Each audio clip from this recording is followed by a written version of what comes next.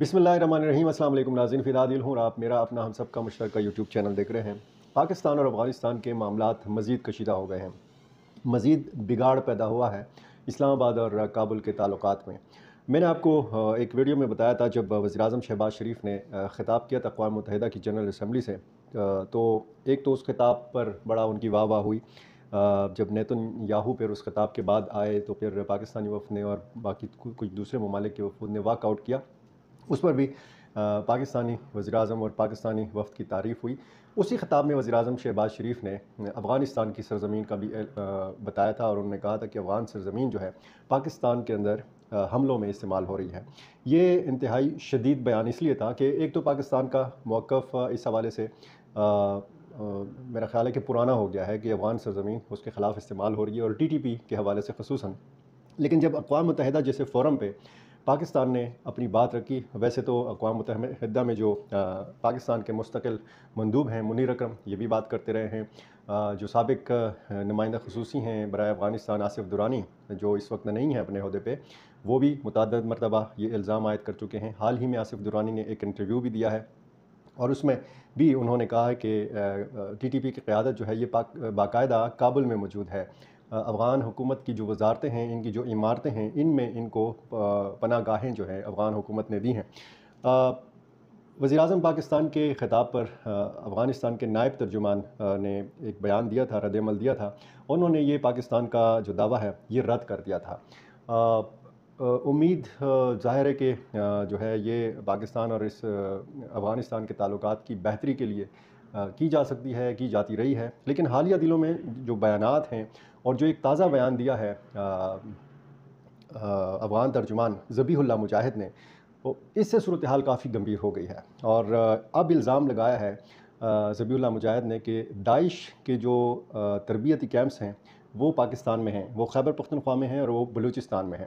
یہ انتہائی سنگین الزام ہے۔ ایک تو اگر آپ دیکھیں پاکستان کے لیے سب سے بڑا چیلنج جو ہے، یہ ٹی ٹی پی کی طرف سے ہے۔ ٹی ٹی پی میں درجنوں ایسے گروپس ہیں جو اس امبریلا کے تحت جمع ہوئے ہیں۔ یہ ایک اتحاد کا نام ہے، جو ملیٹنٹس گروپس ہیں۔ ان کے اتحاد کا نام ہے تحریک طالبان پاکستان۔ اور یہ پاکستان خصوصاً جب آپ خیبر پختونخوا کے حوالے سے بات کرتے ہیں، تو بہت بڑا چیلنج یہاں پہ سیکیورٹی اداروں کے لیے بنا ہوا ہے۔ اور ٹی ٹی پی کی قیادت کے حوالے سے پاکستان کا یہ الزام جو ہے کہ جی وہ افغانستان میں موجود ہے۔ پانچ سے چھ ہزار فعال جنگجو جو ہیں وہ افغانستان میں موجود ہیں اور ان کو باقاعدہ افغان طالبان کی سرپرستی حاصل ہے۔ یہ افغان افغانستان کی سرزمین کے حوالے سے افغان طالبان کے حوالے سے پاکستان کا الزام ہے۔ اب جوابی وار کیا ہے افغان طالبان نے۔ ذبی اللہ مجاہد کہتے ہیں کہ ہم نے پرتشدد حملوں میں مطلوب جو داعش خوراسان کے اہم ارکان ہیں ان کو گرفتار کیا ہے۔ ان میں ایسے لوگ بھی گرفتار کیے گئے ہیں کہ جنہوں نے باقاعدہ ٹریننگ حاصل کی پاکستان سے۔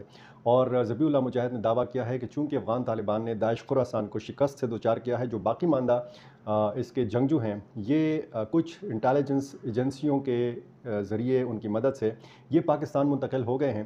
اور اب وہ، وہاں پہ پاکستان میں مختلف ٹریننگ کیمپس میں ٹریننگ حاصل کر رہے ہیں اور وہاں سے پھر وہ افغانستان جاتے ہیں یا آتے ہیں اور وہاں پر حملہ آور ہوتے ہیں۔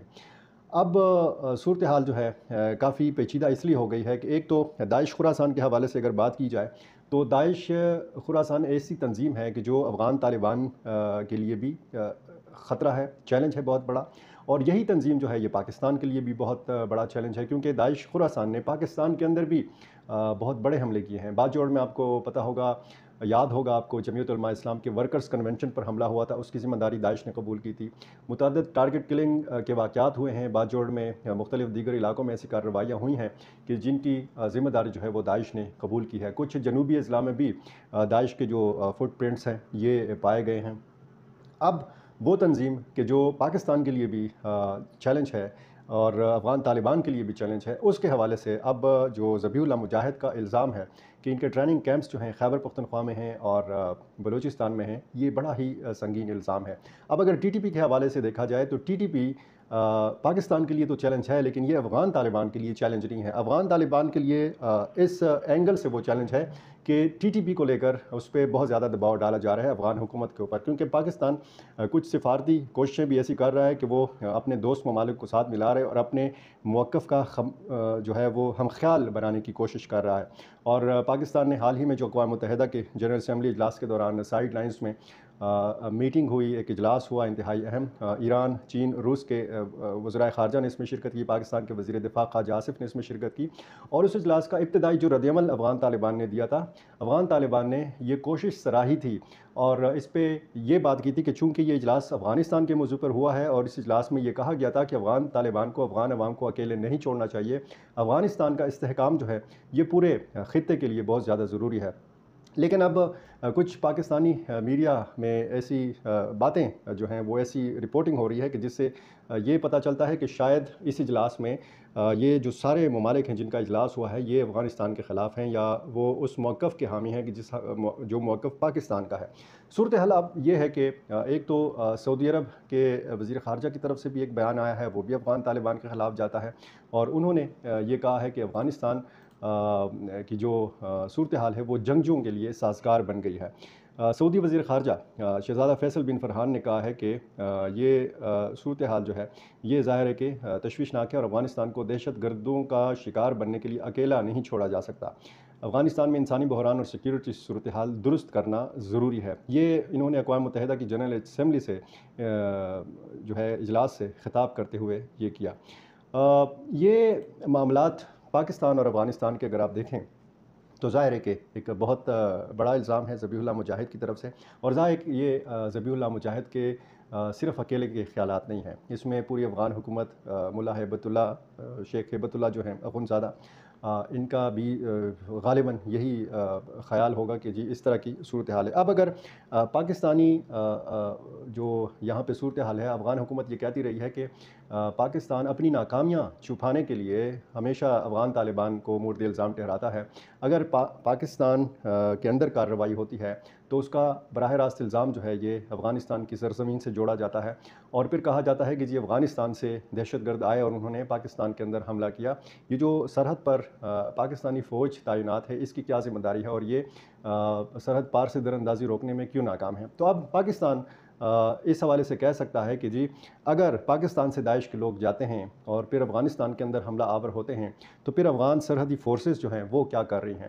پاکستان نے فی الحال رد عمل نہیں دیا۔ دفتر خارجہ کے ذرائع یہ کہتے ہیں کہ ہفتہ وار جب بریفنگ ہوگی ممتاز زہرہ بلوچ کی، تو اس میں اس حوالے سے امکان ہے کہ بات کی جائے۔ لیکن الزام بہت بڑا ہے۔ ظاہر ہے کہ داعش خوراسان جو ہے یہ کوئی ایک معمولی تنظیم کا نام نہیں ہے۔ اس کے جنگجو ہیں، اس کے ٹک ٹاک ٹرینڈ جنگجو ہیں اور یہ جو ذبی اللہ مجاہد نے کہا کہ جو گرفتار ہونے والے لوگ ہیں، ان میں ایک تاجک شہری بھی شامل ہے۔ تو تاجکستان میں بھی اس کی بنیادیں موجود ہیں۔ حال ہی میں جو ایک بڑا حملہ ہوا روس میں ماسکو کے اندر ایک کانسرٹ ہال میں، اس میں ڈیڑھ سو کے لگ بھگ لوگ جو ہے وہ مارے گئے تھے۔ داعش خوراسان نے سب سے پہلے جو حملہ کیا تھا، اولین دن تھے افغان طالبان کی جب دوسری مرتبہ یہ برسر اقتدار ہے تو انہوں نے کابل ایئرپورٹ پر حملہ کیا تھا۔ اس میں لگ بھگ کوئی ایک سو ستر افراد جو ہے یہ مارے گئے تھے۔ اس میں تیرہ امریکی فوجی بھی شامل تھے۔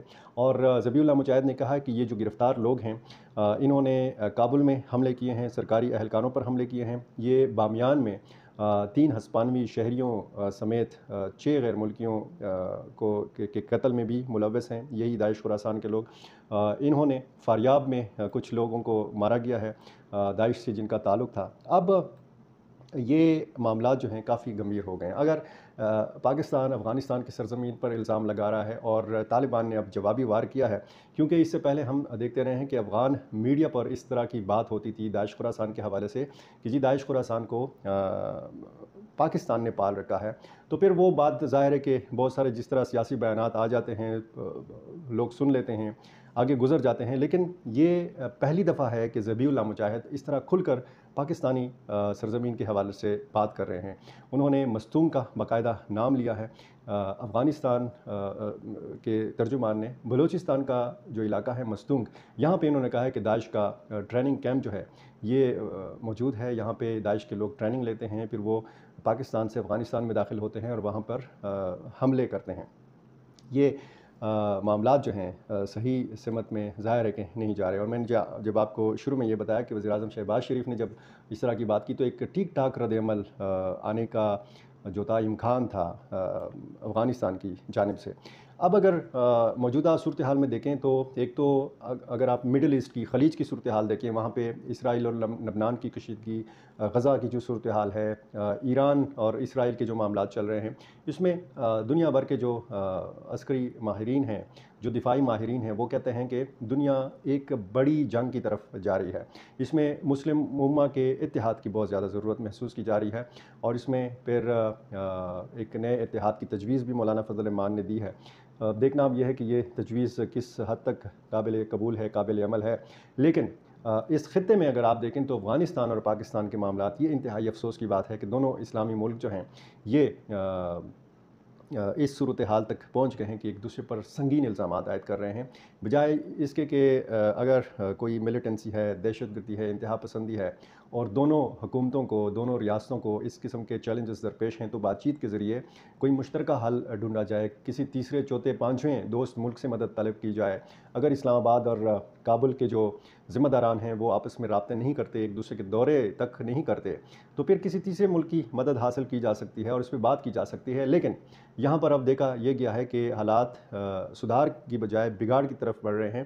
اور ایک خبر یہ ہے کہ گذاشت داده اینو مومند کے علاقے میں پاکستانی اور افغان فورسز کے مابین ایک بار پھر جڑپ ہوئی ہے۔ دونوں جانب سے اس حوالے سے نہیں بتایا گیا۔ مقامی ذرائع یہ بتاتے ہیں کہ سرحدی جو فورسز ہیں، افغان طالبان کی اور پاکستانی فورسز کی، تو ان کی آپس میں جڑپ ہوئی ہے۔ یہ کوئی نئی بات نہیں ہے۔ اس سے پہلے بھی جڑپیں ہوتی رہی ہیں۔ اور یہ جو صورتحال ہے، یہ اب انتہائی خطرناک جانب بڑھ رہی ہے۔ ایک چھوٹی سی خبر جس پہ میں اگلے آنے والے دنوں میں تفصیلی بات بھی کروں گا کہ پشتون تحفظ مومنٹ کے جو سربراہ ہیں منظور پشتین، انہوں نے وزیر اعلیٰ خیبر پختونخوا علی امین خان گنڈا پور سے ملاقات کی ہے اور ان کو گیارہ اکتوبر کو ہونے والے پشتون قومی عدالت کے حوالے سے وزیر اعلیٰ کو آگاہ کیا ہے۔ ان سے امن و امان کی صورتحال پر بھی بات کی ہے۔ اس پشتون قومی عدالت جو تین روزہ یہ عدالت ہے اس کی سیکیورٹی کے حوالے سے بھی بات کی ہے۔ منظور پشتین نے تمام تقریباً سیاسی جماعتوں کو، تنظیموں کو سول سوسائٹی کے نمائندوں کو باقاعدہ اس پشتون قومی عدالت میں شرکت کی دعوت دی ہے۔ اس کے لیے جگہ کا انتخاب کر لیا گیا ہے۔ پشاور کے بالکل قریب جمرود میں ریگی ماڈل ٹاؤن کے بالکل قریب جو کوکی خیل کا کوئی ایک علاقہ ہے۔ یہاں پر یہ پشتون قومی عدالت لگائی جائے گی، تین روزہ یہ عدالت ہوگی۔ اس میں پشتونوں کے ساتھ جو ہونے والا سلوک ہے یا جو ان کے مطالبات ہیں، اس حوالے سے تین دن تک اس پہ تبادلہ خیال کیا جائے گا اور پھر جو ہے کوئی حکمت عملی کا اعلان کیا جائے گا۔ منظور پشتین اس قومی عدالت سے کیا چاہتے ہیں؟ کیا ان کے مقاصد ہیں؟ کیا ان کے عزائم ہیں؟ اس حوالے سے ان کے جو حامی ہیں، وہ کیا کہتے ہیں؟ ان کے جو مخالفین ہیں، وہ کیا کہتے ہیں؟ یہ آئندہ کسی ویڈیو میں تفصیلی اس پہ بات کریں گے، کیونکہ گیارہ اکتوبر کو بھی دن ہیں تو اس ولاگ میں، اس ویڈیو میں اس بات کا ذکر کرنا اس لیے ضروری تھا کہ آج ایک تصویر باقاعدہ علی امین خان گنڈا پور کے ترجمان نے جاری کی ہے، فراز احمد مغل نے۔ اور وزیر اعلیٰ خیبر پختونخوا نے وہ مخصوص ٹوپی پہن رکھی ہے اس تصویر میں کہ جو منظور پشتین کے سر پر اکثر آپ کو نظر آتی ہے، سرخ رنگ کی ٹوپی جس میں کالے رنگ کے پھول لگے ہوئے ہیں اور اس میں سی ایم پشتین کے الفاظ بھی لکھے ہوئے ہیں۔ یعنی وزیر اعلیٰ خیبر پختونخوا اگر منظور پشتین کی پالیسیز کے حوالے سے، ان کے خیالات کے حوالے سے، ان کے بیانات کے حوالے سے بات کی جائے تو شاید اتنے سخت بیانات منظور پشتین کے نہیں ہیں جتنا سخت بیانات آج کل علی امین خان گنڈاپور دے رہے ہیں، جتنے سخت بیانات آج کل خیبر پختونخوا اسمبلی میں تحریک انصاف کے ممبران اسمبلی دے رہے ہیں۔ تو اس معاملے پر مزید بات کریں گے۔ یہ بہت اہم معاملہ تھا پاکستان اور افغانستان کی کشیدگی کا، اس لیے میں نے اس پہ تفصیلی بات کی ہے۔ میرا چینل اگر آپ نے سبسکرائب نہیں کیا تو یہ کر لیجیے اور کمنٹس بھی کیجیے، شیئر بھی کیجیے اور اپنی رائے سے ضرور نوازیے۔ بہت شکریہ۔